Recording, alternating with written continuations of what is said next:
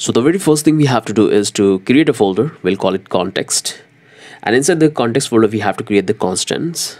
The same old school we are following here. And this we'll call swap context.js. And that we're going to build all the functionality. So this is the context folder we have. Now what we can do is, let's come here into the deploy script and here we're going to build the environment for deploying all the contract. So we have close to five contract and we have to deploy all the contract. So we have to write the script for that. So if we open the contract here we have all these five contract and we have to build the script. So what we can do let me give this comment so this one is this erc20 token boo token and we are deploying that. Simply copy this paste here paste here and this will call simply select all this one and say remove boo and this will become small b. So this is the boo token deploy script. Simply copy this one and do the same thing for other token. So this will become the live token and we have to change the name. Here we're going to simply say boo this one is become live.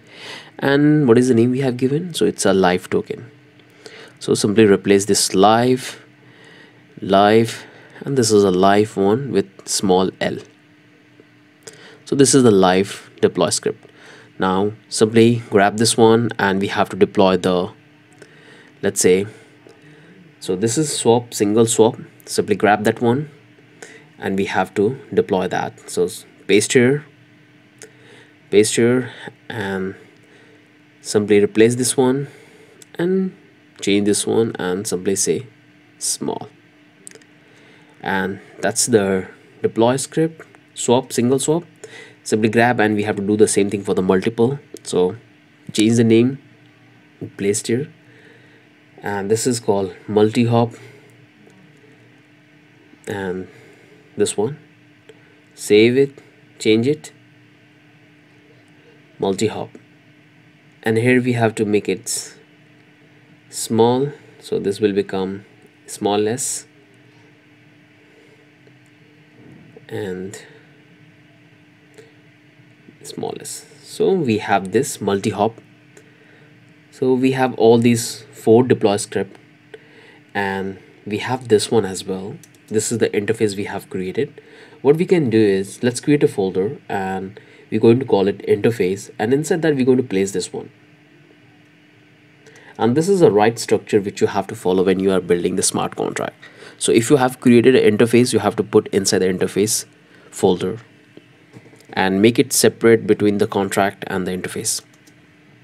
Looks good to me. No more problem we have here. So this is all the deploy script. And close this one and now close this close this. Open up your terminal and here we go going to simply first thing we have to do is split the terminal and we have to run the local blockchain. So for that you can type npx hard node.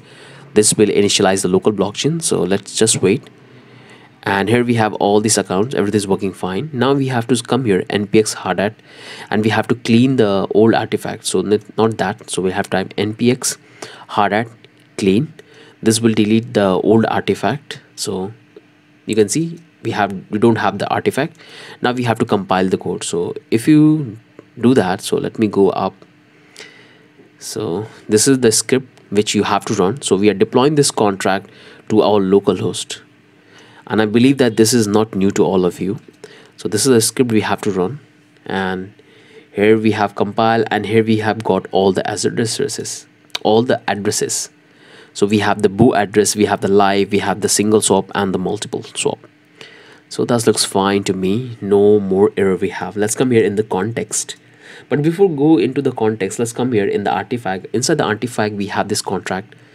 And here we have this boo token ABI simply drag and drop in the context.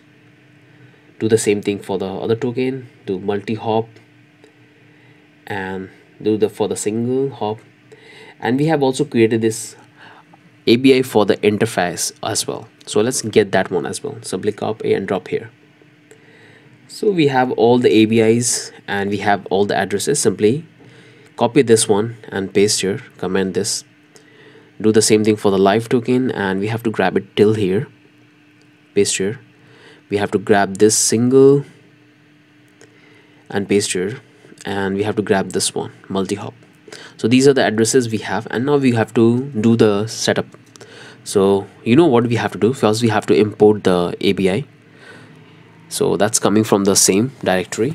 We have to import the ABI for the um, what is the name of that file? So it's a live token and that's come from the same directory.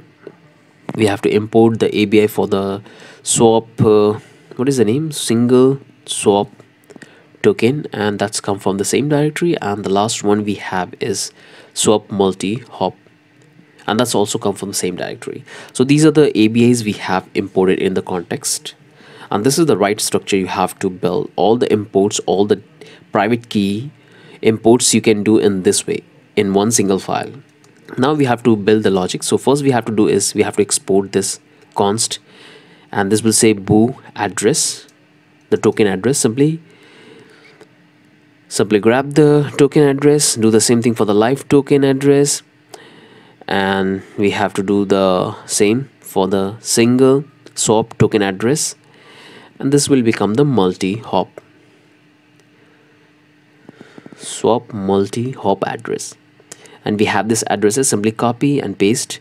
Copy and paste copy paste and copy and paste so these are the addresses we have. Now we have to import the ABI so this will call boo token. We have to import the ABI boo token ABI and that's coming from boo token ABI do the same thing for the other token. So we'll say live token and export cons live token ABI live token dot ABI let's make this single swap token and export con single swap ABI single swap ABI and this will become swap multi-hop.